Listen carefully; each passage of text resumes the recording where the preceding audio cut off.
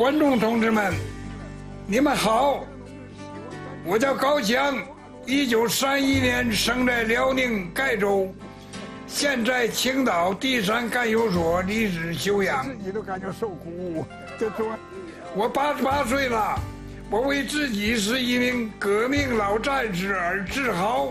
我当过陆军，干过空军，参加过辽沈战役。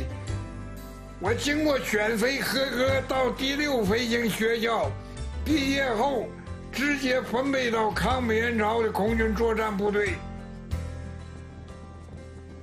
在海南岛上空一次空战，我用三门炮齐射，打掉了挂着导弹的美国 F 一零四战斗机。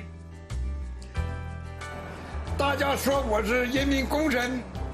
可我一直认为，这只是我作为军人应该做的一点贡献。我参观了辽宁舰，站在甲板上，我很自豪，更羡慕这些刀尖上的武者。我们爱好和平，却不畏惧战争，因为我军的传统是一不怕苦，二不怕死。我想这些年轻的战友也继承了这一点。看过了高空上的白云朵朵，也见过舰船的劈波斩浪，参加过国庆观礼，也曾被领袖亲切接见。作为一名老兵，我要继续努力，继续战斗下去。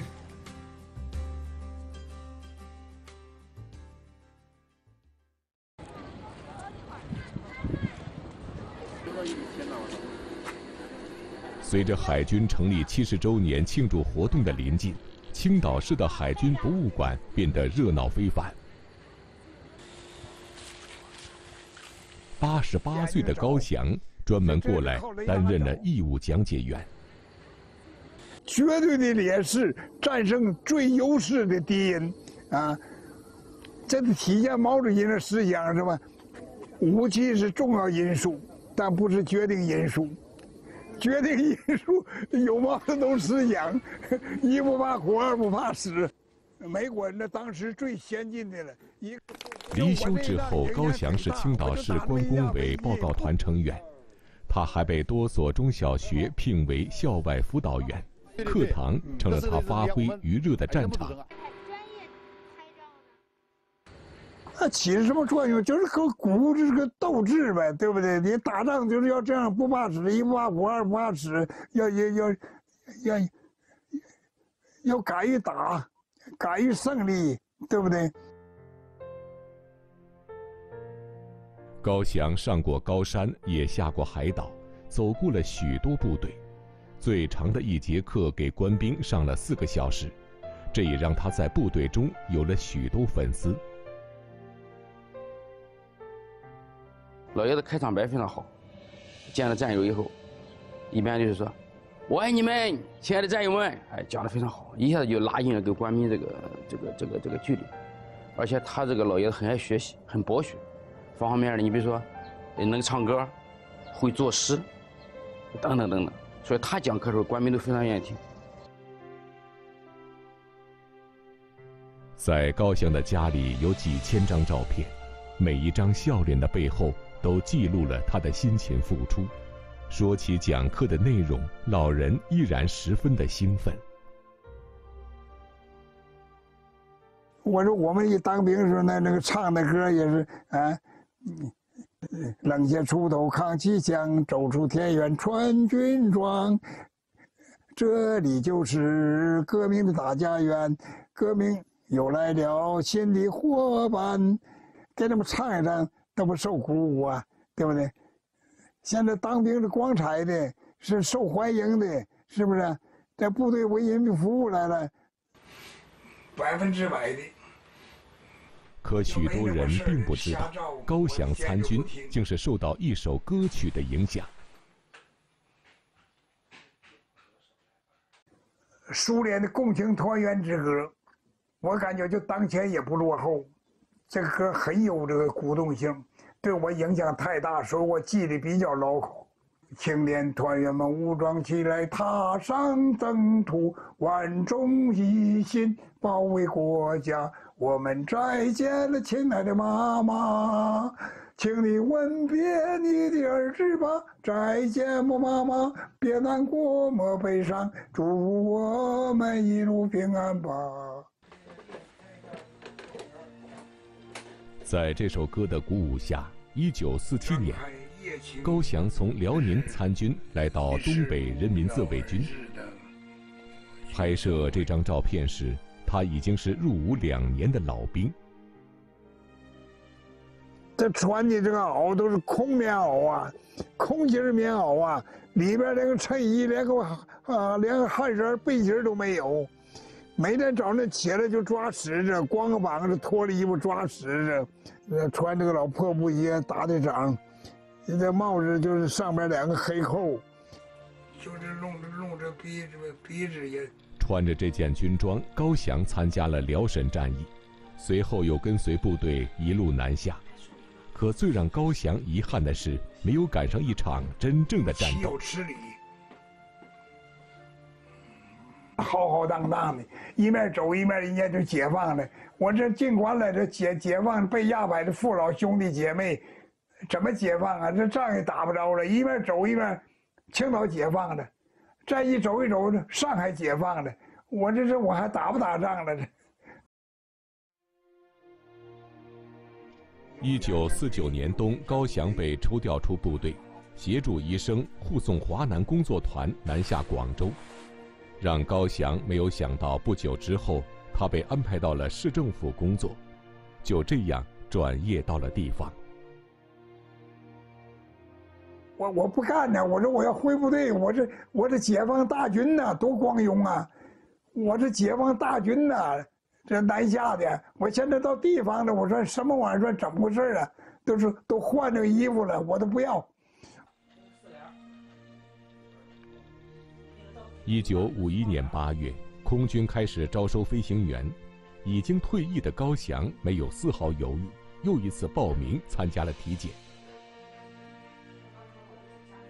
哎呀，我心里话，我回部队也行，什么空军、陆军的，我就到空军，我就我就看个飞机也行啊。我给飞机站大岗，我也我也知足啊。我没什么要求，回部队就行，我也不怕丑了。我我这是就这样，高翔成了一百多名面试者中唯一的合格者。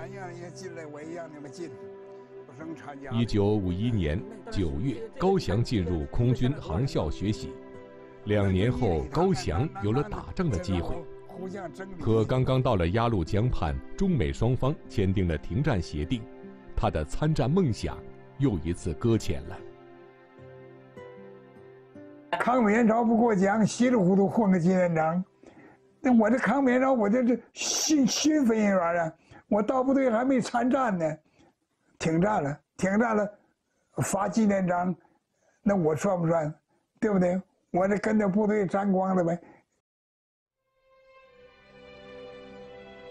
一九五六年，高翔跟随空军转隶为海军航空兵，从陆军到空军，再到海军航空兵，服装改变了，军种改变了，可他向往打仗立功的决心一直没有改变。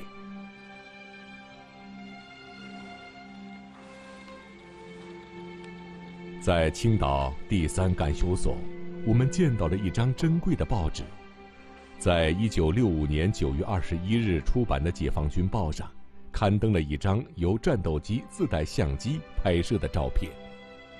照片中，一架歼六战机喷射着火舌，正前方的飞机在冒着浓烟。这架歼六战机的驾驶者正是高翔。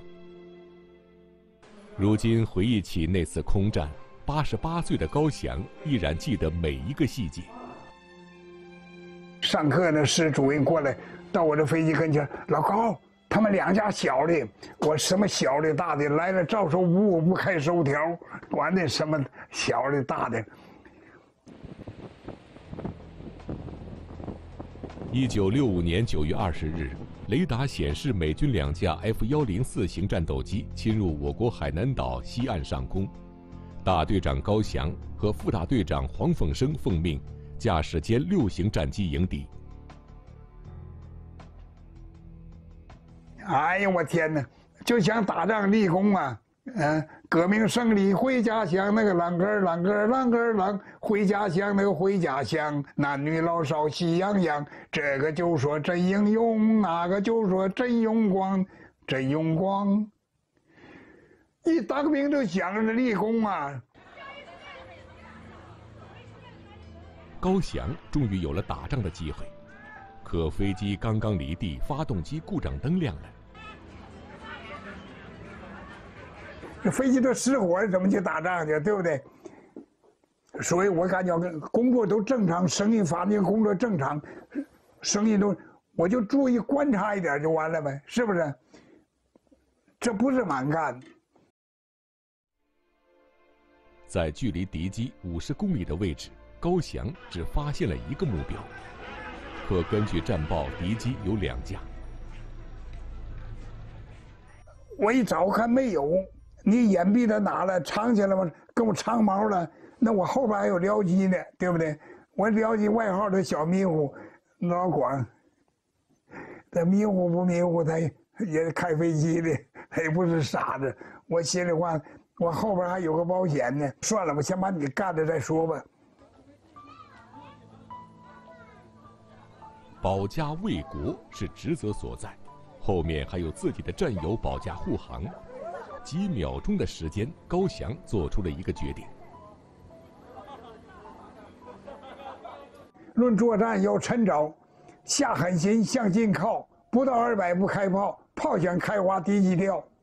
就到现在也是真理，也是绝对正确的。就这样，从二百九十米打出第一炮，一直打到距离敌机仅有三十九米距离。眼看着两机就要相撞时，高翔快速做了一个高难度动作，把飞机救了回来。我就拉着这一杆这一杆拉的力量有多大？不要形容了。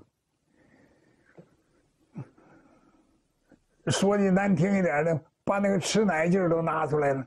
啊，这一杆呀喊了一声，打掉了。看着敌人的飞机冒着黑烟，倒栽葱般的一头扎向了地面，高翔来不及喜悦，因为他的飞机被敌机爆炸后的碎片击中了，有一台发动机空中停止了工作。单发落地，在这之前没有过，这单发落地没有过，我又创造个单发落地，不但落地正常，比正常还正常。本来这飞机一台发动机嘞，说有的有应该有点特殊反应，我这稳稳当当的落地了。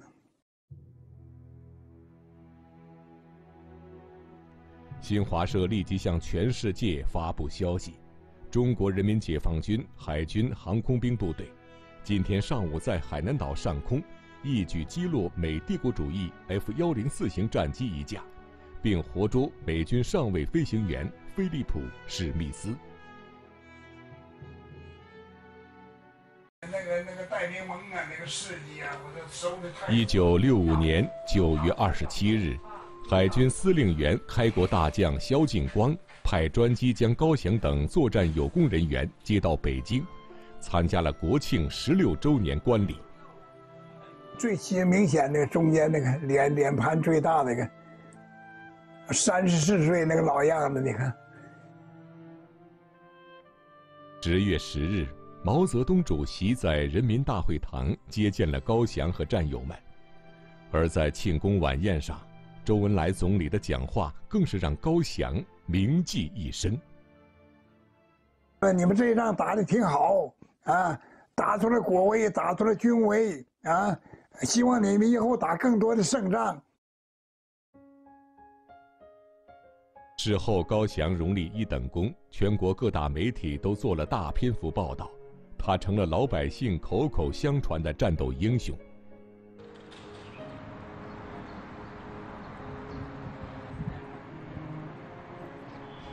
可高翔从来没有把自己当成英雄几十年过去了他依然过着朴素的生活。我现在基本上就是红酒、白酒很少喝。我住院得病，也医生给我治好了。你要还喝酒，你不听我的，你有什么病我也不给你抢救了。这这什么我那么吓唬我？我说你别吓唬我了。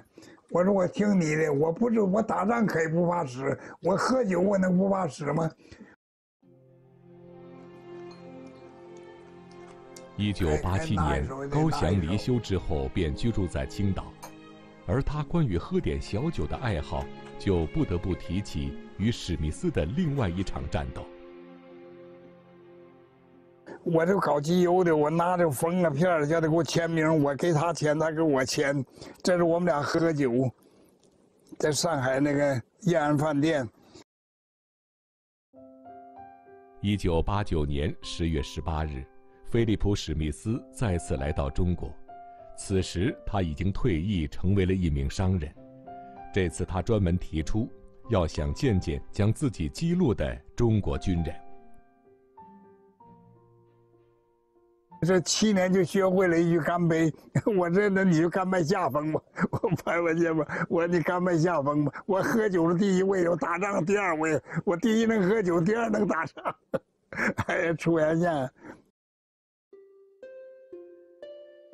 史密斯喝了三小杯白酒，就有些醉意，剩下的白酒都被高翔喝掉了，这让史密斯竖起了大拇指，连说喝酒很 OK。五粮液酒，这这我不太舍得喝的，那家伙，这家伙不不用花钱的干了，我这一瓶基本上这一瓶，给他表演了。会谈结束后，史密斯送给高翔一个指甲刀，而高翔送给了他一架当时中国最先进的歼八型号的飞机模型。我中国这航空工业是已经发展到这这个了啊，歼八二型了啊，你你你你你，我这航空工业是全是自力更生的。你你你，美国的是美国造什么的，这这欧洲什么发动机，嗯，我们都是独立的航空工业。年的邮票都给我拿出来，我要买一买，我要看一看。自从成为战斗英雄之后，高翔不断收到全国各地寄来的邮件，他把这些来信视为祖国和人民给予的荣誉，一直珍藏着。他这画展都在国。信封上各式邮票渐渐吸引了他，不知不觉和集邮结下了缘分。主图都不是对了，这怎么弄？这些都是普通邮票第八套邮票，第第三张，两分钱，这飞行员的。就五十年代就这个装备，基本上就这样。在高翔的收集品当中，有一件他最为珍惜，这是参观辽宁舰时全舰官兵送给他的首日封。就我们这个飞行员里头，就戴明峰他们。三千米的跑道，这航空母舰这这这这几十米吧，不百百八米，哎，你说这个这个这差距多大？就是什么物件上刀尖上的误导，这不是我们形容的报纸登的。我百富和我的书，我的高高屯驱逐舰、登陆舰、护卫舰全面登上舞台，辽宁号航母远航。第二艘国产航母试水，高翔为祖国的发展强大感到骄傲。航空母舰出来了，这里两艘了，这这个装备也也就不一样了，对不对？这前十、前十五都上去了，有习主席英明领导，我们还要飞速的向前发展，还要进步，我们要赶超。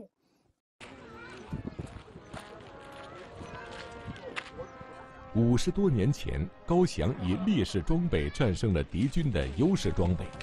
而今天，海军成立七十周年海上阅兵在青岛举行，中国军舰在海上遨游，看着日益强大的中国，高翔说：“这一生最大的荣耀，便是身上的军装。一不怕苦，二不怕死，是我们前进的动力。”